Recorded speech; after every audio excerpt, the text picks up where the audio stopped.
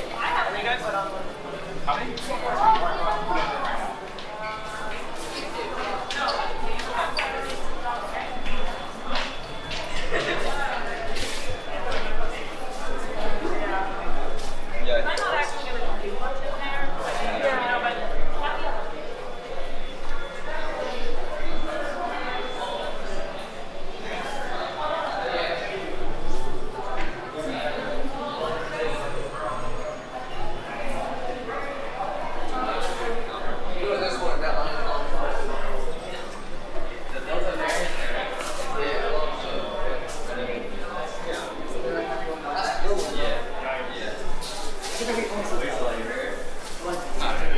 you.